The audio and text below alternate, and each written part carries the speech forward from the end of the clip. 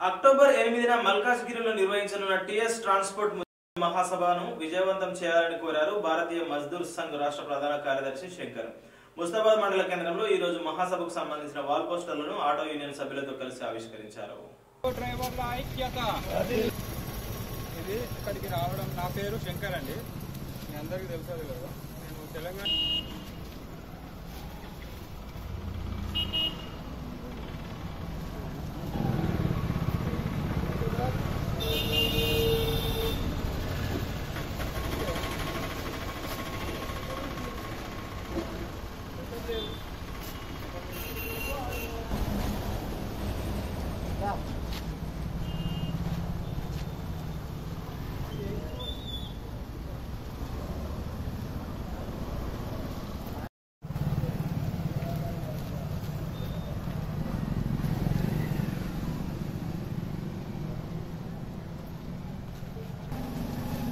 నమస్తే. Telangana state auto and taxi driver union general secretary నా పేరు పి శంకర్.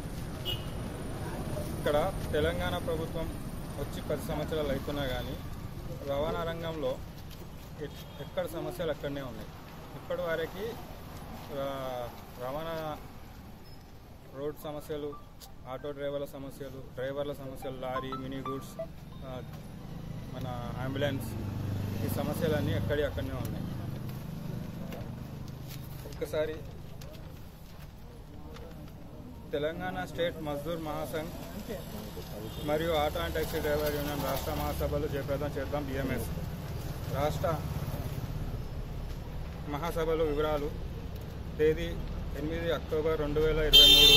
సమయం ఉదయం పది గంటలకు స్థలం Brindavanam garden Anand Bagh Malkajgiri.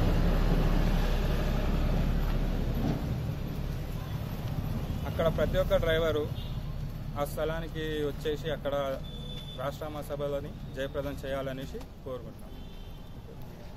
Telangana state private auto union మహాసభల్ని October ఎనిమిదో తారీఖు నాడు విజయవంతం చేయాలని చెప్పి భారతీయ మజ్దూర్ సంఘ్ డిమాండ్ చేస్తూ ఉన్నది.